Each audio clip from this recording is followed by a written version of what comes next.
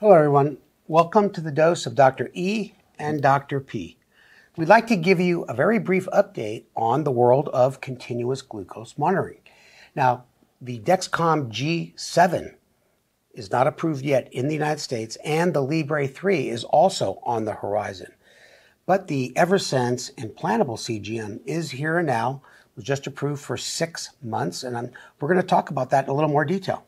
Yeah, you know, we wanted to talk about the Eversense because it has been around for a while, but like you said, um, it's a little different because it is implantable. It goes under the skin. And, you know, up until recently, it could stay in the skin for three months. Now, six months, a lot of people kind of, you know, that's a little bit more interesting people. They want to hear about it. We have both actually had these implanted, so we're going to talk about it, what it is, what the procedure is like, if people are interested, in some of the advantages. So tell us about, you know, what makes up the Eversense system, Steve? Yeah, now we should say that, you know, there's different strokes for different folks. You got to pick the system that works best That's for you. the whole idea. Everybody on insulin should be on a continuous glucose monitor. This is another great option. So this little device, which you probably cannot even see, is the sensor. And with a very short 10 to 15 minute office procedure, uh, they put a little numbing medication in, they make a little incision. There's actually a special insertion tool for a qualified individual uh, to put in the sensor, and then you put on steri strips over it, not stitches, and you leave those on for about a day, and then you're off and running for six months. Yeah, and like I said, Steve and I both had this done. I got to watch Steve go first. Didn't cry too much, um, but literally it was over, you know, in, in five minutes tops. And Yeah. it's it's like a tiny little incision. It goes typically, you know, in the back of the arm right here. Um, this stays under the skin for six months, and then what you have to do then is put the transmitter over it um, to kind of broadcast the signal generally to your smartphone. Yeah, well, this this is the transmitter. It's waterproof, um, and it's.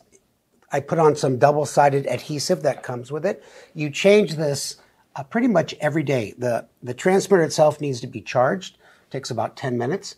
Um, it's important to know that um, that it also vibrates. It vibrates a certain way when you get above your predetermined upper limit, and it vibrates a different way. So it can be pretty discreet. And so even manner. if you don't have your phone on you or whatever, it can, it can still let you know if you're high or low. And another cool thing is that you can take this off whenever you want. Let's say you're going to the beach, you're going swimming, whatever, and then when you're done, you put it right back on, and it immediately starts, you know, transmitting again. So you know you don't have these like warm up periods or whatever. So if you want to kind of make your diabetes invisible, you can, and then you know put it back on, and, it, and it's off and running. Yeah, it's it's it also transmits, as you said, to Android or Apple devices, both phones and smart and smartwatches, and it does all the usual things. You know, it, you can share with people, your doctor, uh, alerts and alarms, downloads. You know, all that kind of stuff that goes with a CGM. It does require one calibration a day. At the current time, the 90 day was two calibrations a day. So they're working on less frequent, but uh, it keeps it accurate. And that's the thing. Some of the advantages are it's extremely accurate, particularly in the in the low blood sugar range, which has been a problematic issue for some other CGMs. So it's very very accurate. Um, and um, other advantages are that you know it can be good for people that have issues with adhesives with other continuous glucose monitors, which unfortunately is common.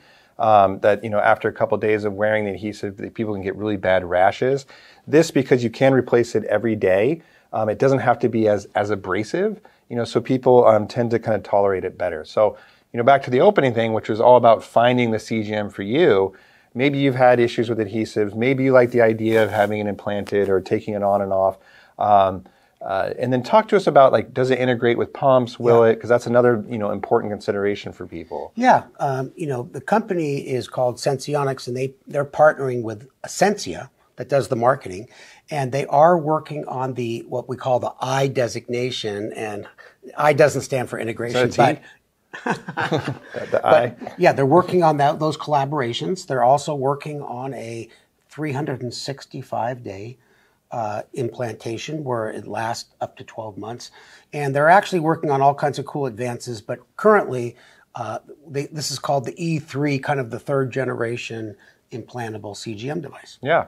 So if any of this is of interest to you, check out the website, you know, below, or there's a phone number that you can call. Um, you need to find a qualified center to kind of implant these, obviously get information. Um, so check it out. We hope this was helpful. Oh, and check out our June Yeah. 18th uh, conference, uh, our next virtual conference. Be sure to not miss that. We'll be talking about these devices in much more detail. See you later.